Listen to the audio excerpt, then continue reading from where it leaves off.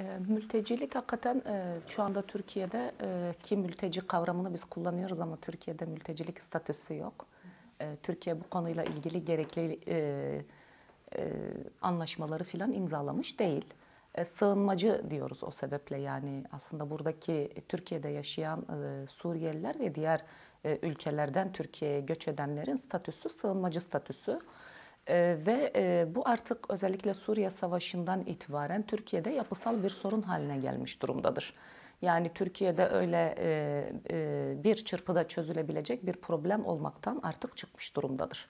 E, tabii şimdi uzun zamandır esasen Türkiye'de bir göç meselesi var.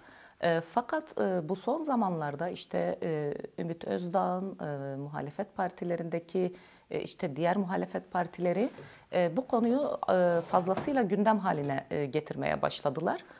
Bunun da en büyük sebebi gerçekten Türkiye'de ırkçı, milliyetçi bir çizginin yükselmesini istiyorlar ve buradan bir siyasi rant elde etmek istiyorlar, nemalanmak istiyorlar.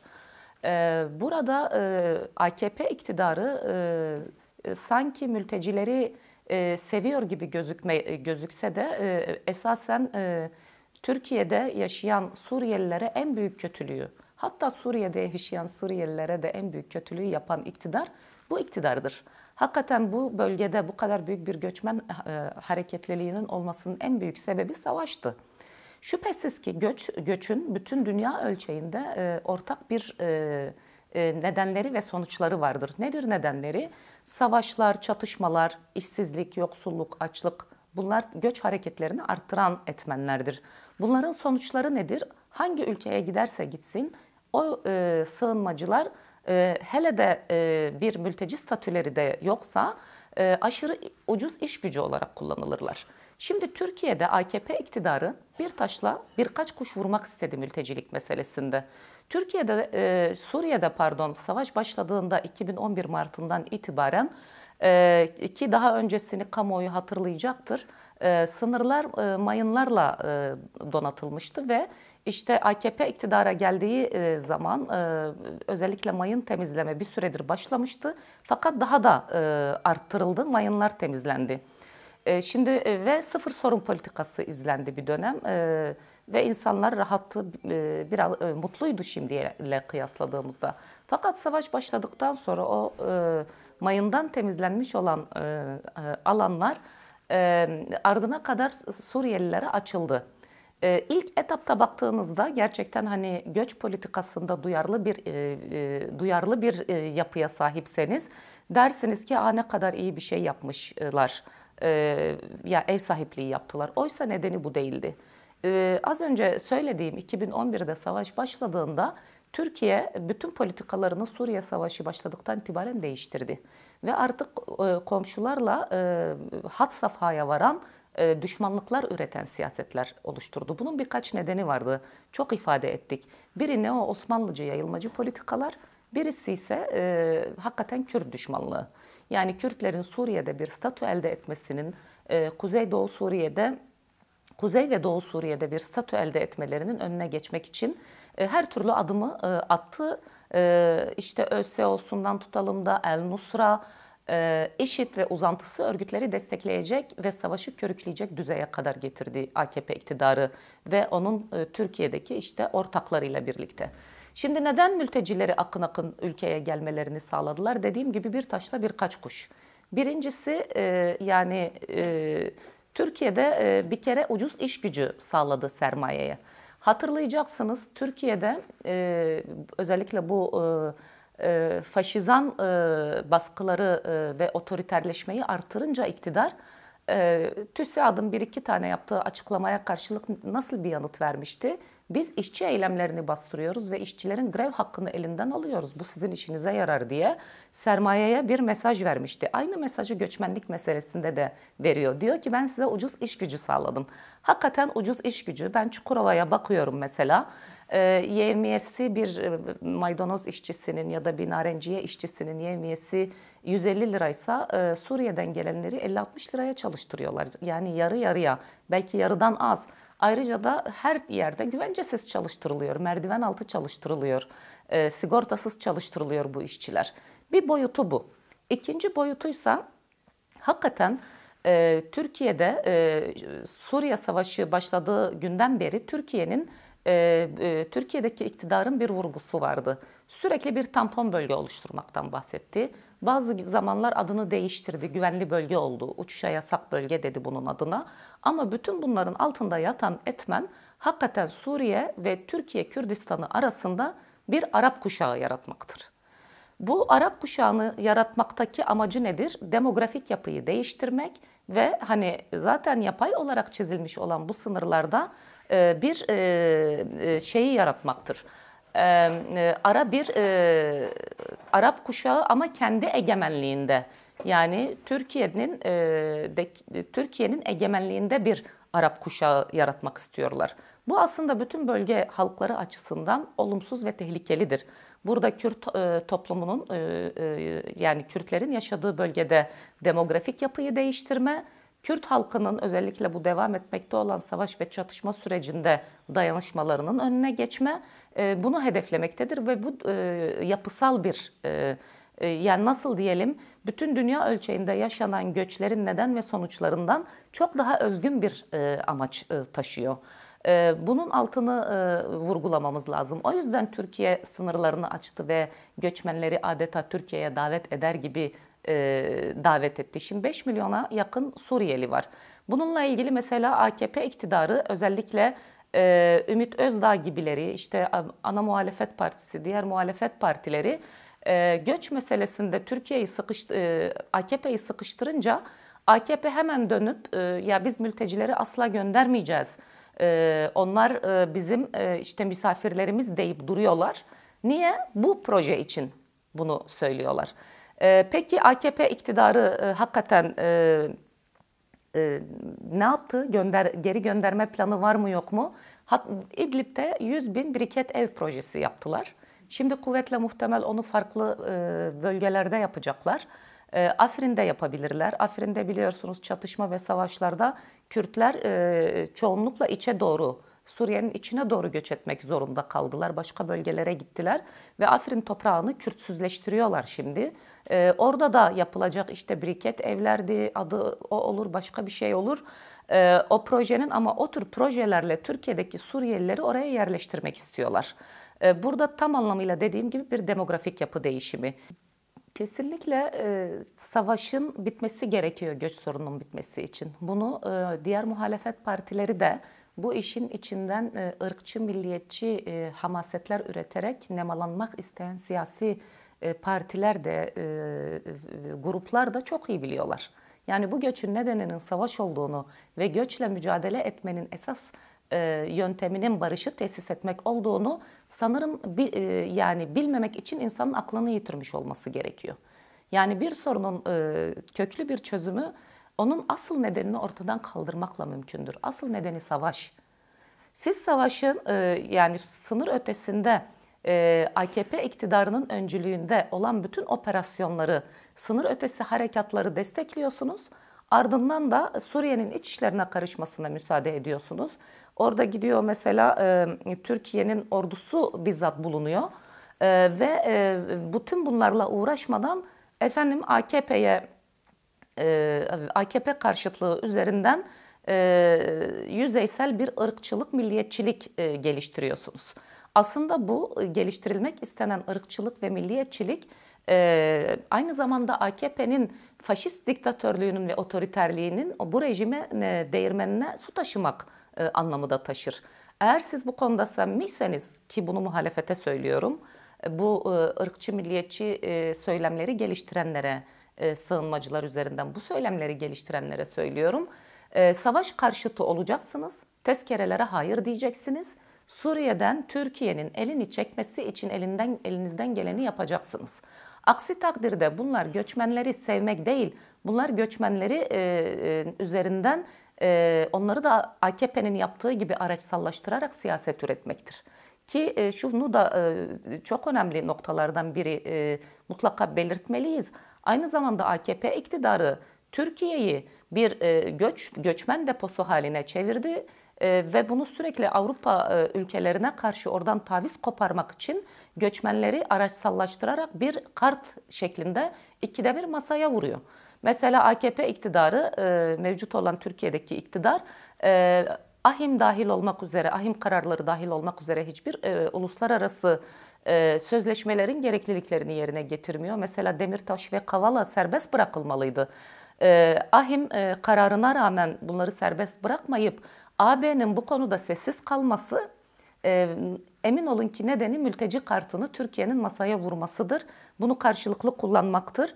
E, ve tabi buradan e, yine önemli noktalardan ve önümüzdeki bu özellikle e, seçime e, e, az bir zaman kaldı ve Türkiye'de mevcut olan iktidar çok büyük bir kaos yaratarak da seçime gidebilir. Bu kaosu yaratmanın e, e, seçeneklerinden birisi özellikle şimdi e, yani muhalefet partilerinin bir kısmının e, ısrarla üstünde durduğu göç, göçmen meselesi, sığınmacı meselesi ve buradan devşirilmek istenen ilkel milliyetçilik ve ırkçılık bunu yarın kaos malzemesi haline getirmek için de iktidar bu oyunu oynar. Biz mecliste özellikle e, bu hafta e, genel e, kurula e, bir önerge e, sunduk e, sığınmacılarla ilgili. Orada bunu belirttik. E, AKP'nin işlediği günahlar kadar muhalefetin de günahı olabilir bu konuda oluyor. O yüzden herkes aklını başına alsın. Türkiye sığınmacılar meselesi üzerinde yangın yerine dönüşebilir. Ankara Altındağ'da geçen senenin Ağustos ayında bir Suriyeli sığınmacı biliyorsunuz linç edildi, katledildi ve birçok e, Suriyelinin iş yerleri yağmalandı. O bir pogrom denemesiydi. Şimdi o, e, o denemenin düşünün ki bu kadar ırkçılığın arttırıldığı böylesi bir atmosfer içerisinde e, Araplara dönük de Kürtlere dönük de bir pogrom e, e, senaryosu, bir kaos senaryosu yeniden devreye girebilir. Bu konuda biz muhalefeti de e, muhalefetin de iktidarı da ciddi bir biçimde uyarıyoruz. Sakın hiç kimse bu kadar tehlikeli bir oyunun içine girip ülkeyi ateşe atmaya kalkışmasın. Sığınmacı sorununu çözmek için bir kere tezkerelere hayır demeyi bileceksiniz. İkincisi Türkiye'nin Suriye'nin iç işlerine karışmasını engelleyeceksiniz. Ee, iktidara diyeceksiniz ki bütün askerleri geri çekin ve biz orada sadece barışa hizmet edecek konferanslar toplayalım, barışı tesis edelim Suriye'de ee, bir diğeri Kürt sorunuyla yüzleşeceksiniz. Yani Kürt sorunuyla yüzleşmeden siz sığınmacı sorununu da bu saatten sonra çözemezsiniz. Bugün bu kadar şey az önce bahsettiğimiz bu e, Türkiye ve Suriye Kürdistanı arasında yeni bir yerleşke e, e, açılmak isteniyor.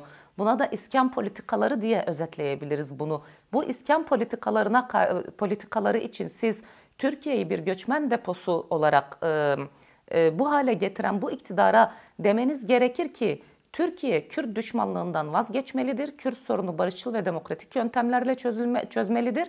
Bunu aynı zamanda Suriye'ye de model olarak sunmalıdır. Bütün bu sorunların köklü çözümünün çözümü burada e, yatar ve bunun üzerinde durulması e, gerektiğini düşünüyorum. Orta Doğu'da özellikle e, bahsettiğimiz bu coğrafyada Irak, e, İran, Suriye, Türkiye coğrafyası üzerinden değerlendirecek olursak Zaten 21. yüzyılda böyle bir demografik yapıyı değiştirmeyi hedefleyen politikalar halklara düşman olan bir politikadır. Ve halkların bunu e, buna karşı güçlü bir duruş sergilemesi gerekiyor. E, fakat özellikle şimdi zaten bu 100 bin biriket evi e, yapmışlar ve bitirmişler. Onun tanıtımını yaptı Erdoğan. Yani hem bir yandan diyor ki biz hiçbir sığınmacıyı göndermeyeceğiz. Hem de aslında bu biriket evler çoktan bitmiş. Çünkü bu projenin üzerinde uzun yıllardır çalışılıyor. Bu proje yeni değil, akıllarına yeni gelmedi. Suriye Savaşı başladığı andan itibaren bu projeyi hayata geçirmek için her türlü e, fırsatı değerlendirdi e, mevcut olan iktidar e, ve e, Türkiye devleti. Şimdi burada e, yani dikkat çektiğiniz nokta şu bakımdan çok önemli. 21. yüzyılda neo Osmanlıcı politikalar e, karşılık bulur mu? e, bulmaz. Çünkü gerçekten Osmanlı e, tarihine dönüp baktığımızda e, bölge halkları e, çok ciddi e, acılar çekmiş e, o dönemlerden ve aynı acıların yeniden zuhur etmesini e, asla istemiyor, istememektedir.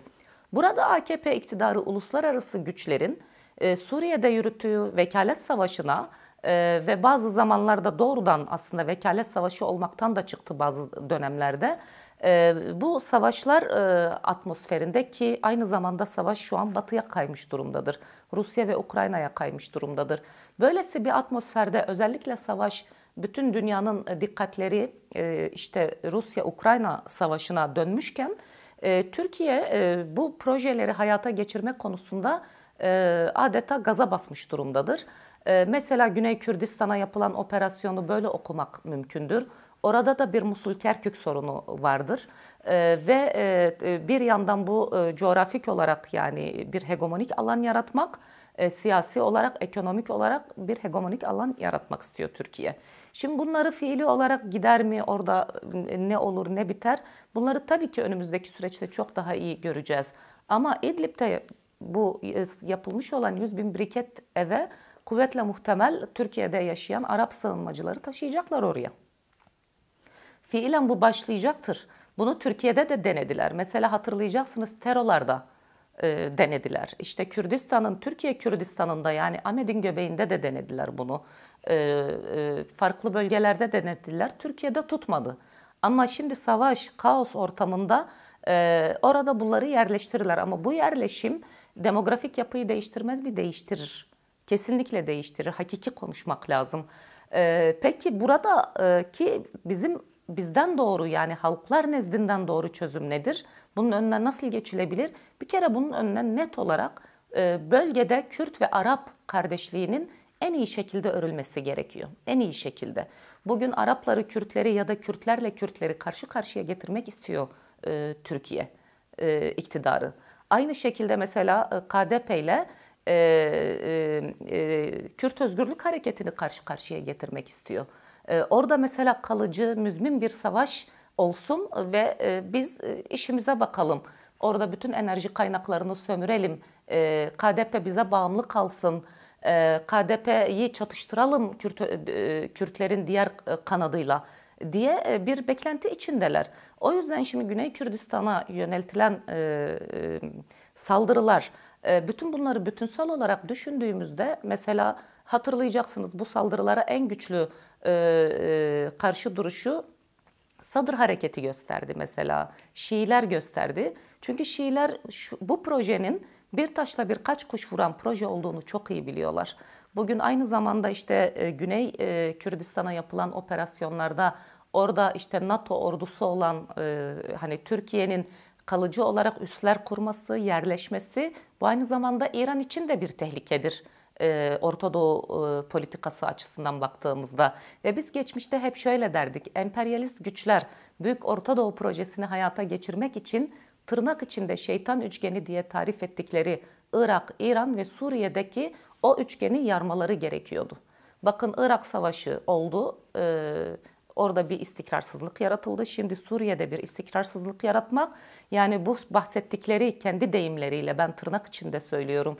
Bu şeytan üçgenini yarmak için şimdi sıra İran'da ve İran'a dönük İran'ın e, da bir iç çatışma aslında dışarının teşvikiyle çeşitli çatışmaların doğması için de şimdi Güney Kürdistan operasyonunu biraz aynı zamanda ona da yönlendiriyorlar.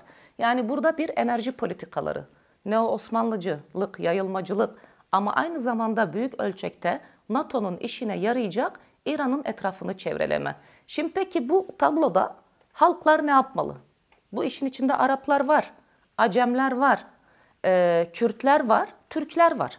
Peki bu dört halk yan yana gelip bütün bu e, e, hem NATO'cu anlayışa, e, batılı emperyalist güçlere ya da şimdi doğudan yükselen emperyalist güçlere karşı e, ortak tavrı bu dört halk koymak zorundadır. Çünkü gerçekten bütün dünyanın dengeleri, savaşları tam da bahsettiğimiz bu e, dört ülkenin e, merkezinden e, e, merkezileşmiş durumda bu dört ülkede ve uzun yıllardır savaşlar, çatışmalar e, Orta Doğu ve Kuzey Afrika bölgesinde aslında aynı amaca hizmet etmek. Yani bu e, şimdi belki içerik olarak fa- bazı farklılıklar arz etse de dünyadaki yeni gelişmelere ama özü itibariyle Büyük Orta Doğu Projesi'nin hayata geçmesidir ve bu da emperyalist güçlerin projesidir. Bunu boşa düşürmek bahsettiğim e, gibi en azından kendi yakın coğrafyamız açısından e, bu dört halkın yan yana gelerek hakikaten kendi otoriter rejimlerine karşı da bir duruş sergilemek, e, emperyalizmin Türk bölgedeki jandarmalığını, sözcülüğünü yapmaktan e, iktidarları vazgeçirmek, o otoriter rejimlere karşı da güçlü bir halk mücadelesi ve dayanışmasıyla bunu aşabiliriz. Az önce de konuştuğumuz işte neo Osmanlıcı politikalar, yayılmacı politikalar derken tam da bunu kastediyoruz aslında. Yani bir bölgede işte demografik yapıyı değiştirmek, e, işte mesela e, Antep'e bağlı üniversiteler de kurdular. E, mesela Afrin'de işte PTT kurdular. Ne bileyim yani sanki orası yarı Suriye, yarı Türkiye kenti gibi bir hal aldı ve bunları arttırmak isteyeceklerdir, kalıcılaşmak isteyeceklerdir. Bu doğrudur. İlhak projesi zaten şeyin bir parçasıdır e, ne Osmanlıcı politikaların bir parçasıdır zaten. Ne Osmanlıcılık derken kastedilmek istenen budur yani. Bir yanı hani e, tabii bu hemen olma e, olmayabilir de ama bunun altyapısı e, hazırlanıyor e, gibi görünüyor.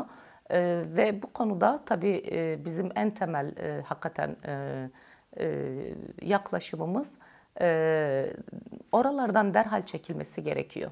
Yani Suriye'nin e, biraz önce de bu göçmen meselesi, diğer konuları konuşurken şimdi Suriye'de bir an önce yani savaşın sonuna gelindi ama henüz tam anlamıyla yeniden bir siyasi yapılanma, sorunların siyaseten çözülmesine dönük henüz somut adımlar atılmamış. Suriye anayasası yazmak gündemdeydi. Henüz bunlar duruyor bu gündemler. Yani yol alınmıyor bu tür konularda.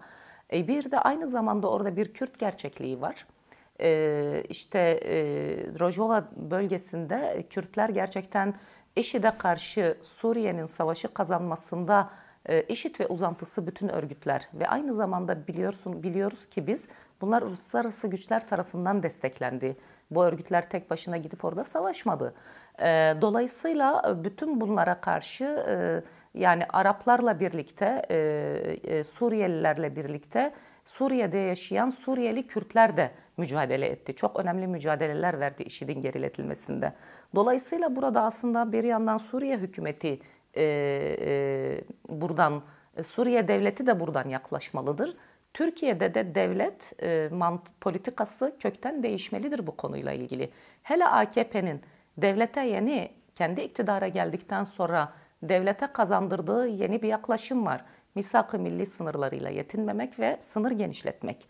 E, yani ne Osmanlıcı politikalar dediğimiz. Şimdi bunlara karşı hakikaten ülkenin barışını, Türkiye'nin barışını ve bölgenin barışını e, kim talep ediyorsa, e, yani ideolojik yaklaşımı ne olursa olsun hakikaten ana merkezinde bölge barışı ve ülke barışı ki yurtta sulh, cihanda sulh Türkiye'de önemli ilkelerden birisi. Türkiye'de özellikle bu, bu iktidar döneminde ki evveliyatı da var tabii ki bunun ama bir hegemon güç olmak istiyor bölgede. Oysa biz yani hegemon güç olmak isteyen kim olursa olsun bunun savaş çatışma getireceğini biliyoruz ve halkların yaşam hakkına kastettiğini, savaşı ve çatışmaları derinleştirdiğini biliyoruz.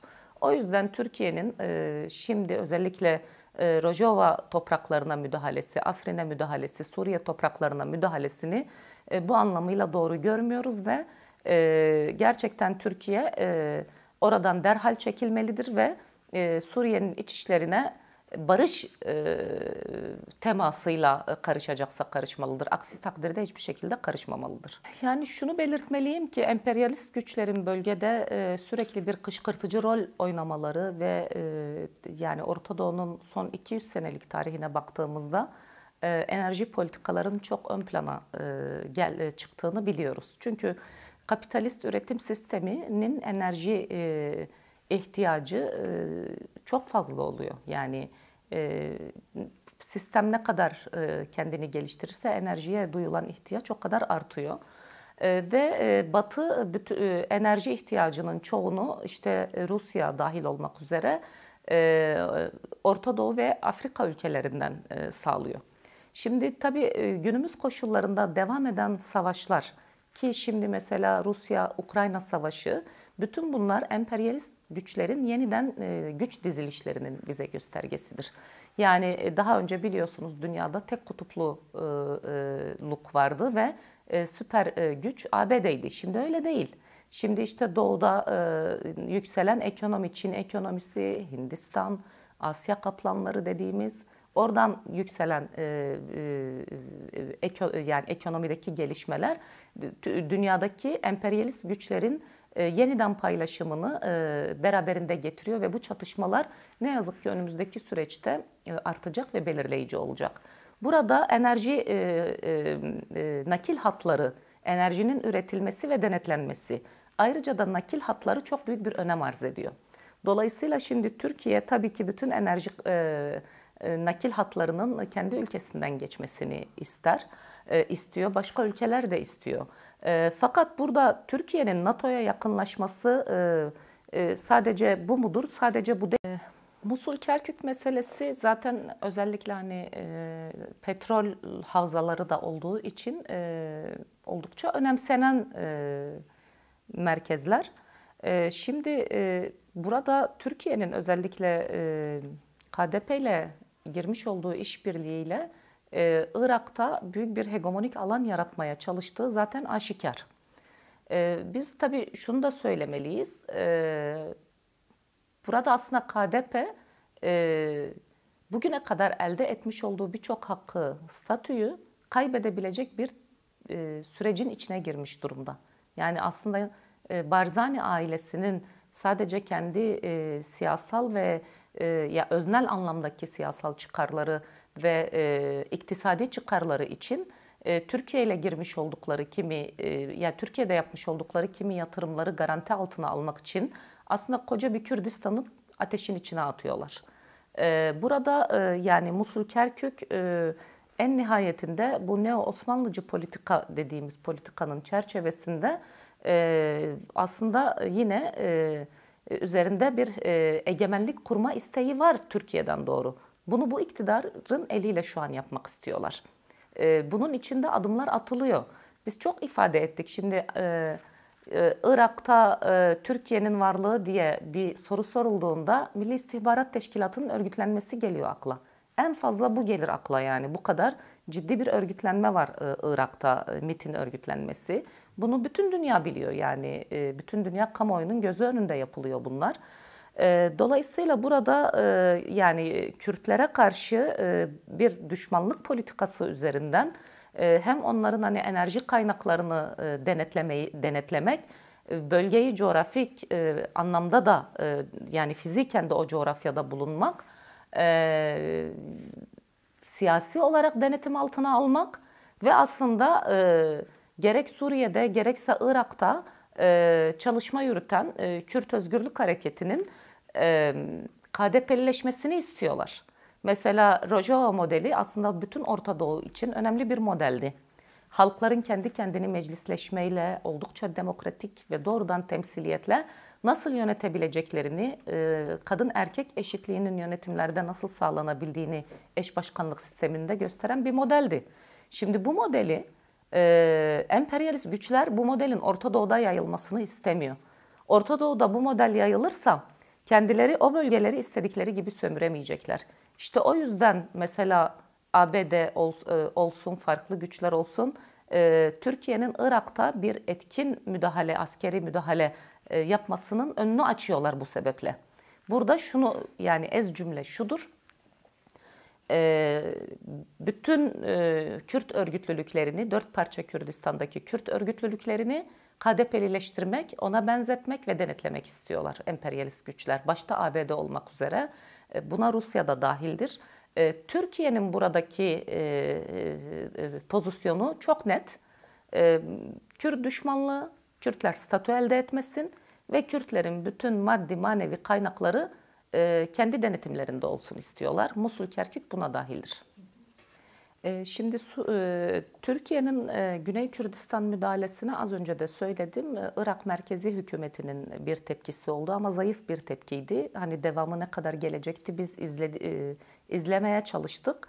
Güçlü bir devam gelmedi. İşte yine bahsettiğim yani Şiileri temsil eden Sadır hareketinin güçlü bir tepkisi oldu. Ee, Avrupa e, e, düzeltiyorum pardon e, Arap Birliği'nden güçlü bir çıkış olmadı. fakat bu şu anlama gelmiyor.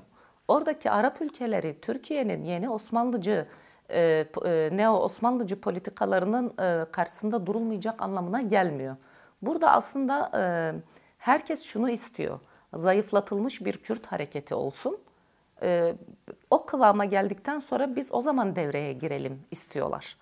E, zaten tehlikeli olan o. Yani tırnak içinde Kürt'ü önce bir dövdürtelim, siyasi iradesini bir kıralım, e, ardından e, döner bakarız. E, o kadar da kolay değil yani Türkiye'nin gidip her yere yerleşmesi. Mesela Libya'da yapamadı, Mısır'da yapamadı. Çok güçlü bir karşı duruşla karşılaştı.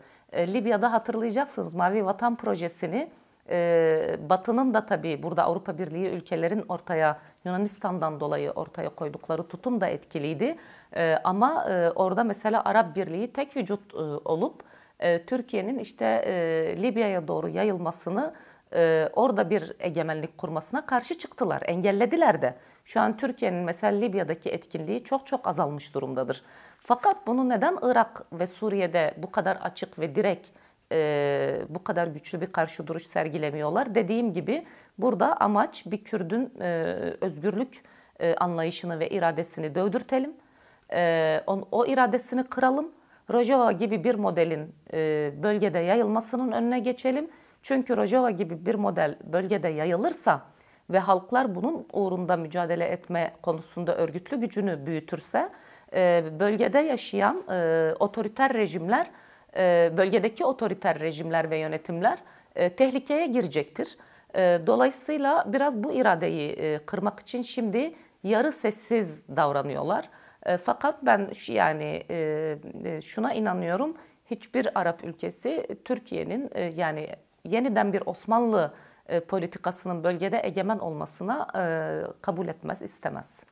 NATO e, ve e, AB e, oluşumu yani İran'ın bölgede bir egemen güç olmasını önüne geçmek istiyor. Bununla ilgili de özellikle biraz önce bahsettiğim ama özellikle tırnak içinde bahsediyorum. Çünkü bu bizim söylemimiz değil. Bu Büyük Orta Doğu Projesi'nin tezidir o tezi ifade etmek için söylüyorum. Şimdi e, İran'ın e, bölgedeki egemenliğini kırmak istiyorlar. Bunu bir tek e, AB NATO mu? Hayır. Aynı zamanda e, Arap Birliği de İran'ın e, kuvveti, kuvvetinin e, azalmasını istiyor. Çünkü burada mesele Şii ve e, Sünni hegemonya e, bu ortaya çıkıyor. Mesela Suudi Arabistan e, bölgedeki egemen güç e, kendi olmak istiyor.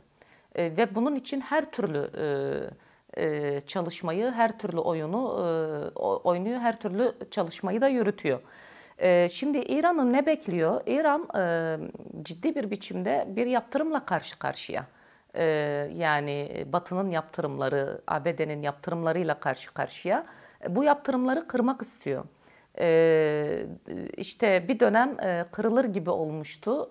Fakat Trump döneminde yeniden yaptırımlar en ağır şekilde e, arttırıldı e, İran'a e, yönelik yaptırımlar. E, şimdi burada e, Türkiye'nin bu neo Osmanlıcı dediğimiz yayılmacı politikalarının yani Osmanlı e, e, e, hülyalarının e, bölgede zuhur bulmasından en çok rahatsızlık duyacak ülke e, İran'dır şüphesiz. Ee, çünkü İran kendi alanını e, ve egemenliğini başkasına teslim etmez, etmek de istemez. Zaten Türkiye ile İran arasında e, bu anlamıyla e, rekabet yeni değildir. Yani yeni değildir. Tarih boyunca, yakın tarih boyunca olmuştur bu rekabet. Dolayısıyla burada bir yandan zayıflatılmış bir Kürt iradesini de İran istemektedir. O yüzden Güney Kürdistan operasyonla e, yani cepheden bir karşı çıkış göstermiyor.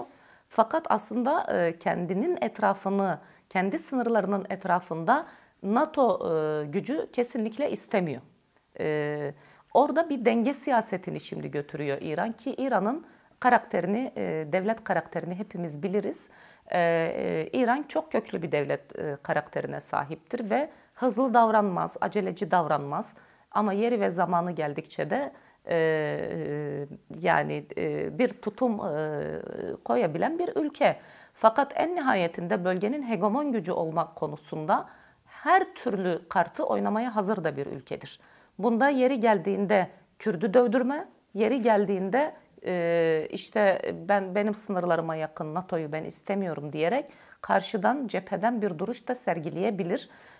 Şu anda böyle bir dengeyle götürüyor İran süreci diyebiliriz. Bölge e, ağır bir savaş ve çatışma altında. E, yani bu Orta Doğu'nun e, gerçekten kaderi değil olmamalı yani. Bunu bir kadermiş gibi telakki ederek ya nasılsa tarihte öyle geldi öyle gider algısı e, bizim HDP olarak kabul ettiğimiz bir algı değil. E, ve bütün bu sorunların e, çözümü için kesinlikle bölgenin bir barış politikasına ihtiyacı var. Hakiki bir barış politikasına ihtiyacı var. Bir kere bölgenin e, halklarının yan yana, halklarının iradesinin yan yana gelmesine ihtiyaç var. E, en nihayetinde e, emperyalist güçler ya da emperyalist güçlerin bölgedeki e, sözcülüğünü ve jandarmalığını yapan rejimlerle bu işler çözülmez. Bu burada çok büyük bir değişime ve dönüşüme ihtiyaç var. Ama en nihayetinde biz büyük bir Orta Doğu barışından bahsediyoruz HDP olarak. Bunun sürekli vurguluyoruz ve bunun için de çaba içindeyiz, çalışma içindeyiz. Peki büyük Orta Doğu barışının gelmesi için neler gerekiyor? Bir kere burada yaşayan bu bölgedeki bütün halklar kendi dillerini, ibadetlerini e, özgürce yaşayabilmeli varlıklarının anayasalarda, devletlerin anayasalarında bir statüye kavuşması çok önemli olacaktır. Mesela Kürtlerin dört parça Kürdistan'dan bahsediyoruz e, ve dört ülkede yaşamaktalar ama e, hiçbirinde bir e, doğru düzgün bir yasal statüleri yok. E, işte Irak'ta Federe Kürdistan bölgesi var. Onu da izledikleri politikalarla kaybetmek üzereler. E, KDP'nin izlediği yanlış ve teslimiyetçi politikayla kaybetmek üzereler. Dolayısıyla burada bizim hani en temel meselelerimizden birisi bu bölge açısından Kürt sorununun barışçıl ve demokratik yöntemlerle çözülmesi ve bu dört ülke içerisinde Irak, İran, Suriye ve Türkiye'de Kürtlerin e, Kürtlere bir statü tanınması ve Kürtlerin eşit yurttaşlık temelinde haklarının sağlanması bu model gelişmeli. Bir diğer söyleyeceğimiz şeyler emperyalist güçler burayı bir e, enerji ve pazar kaynağı olarak görüyor bölgemizi.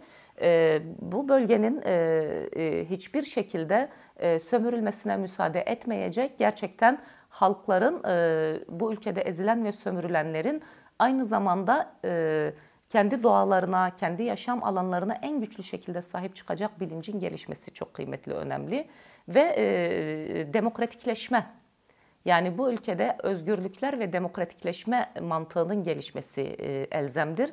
Bunun için de bizim çağrımız bölgede yaşayan bütün halklara.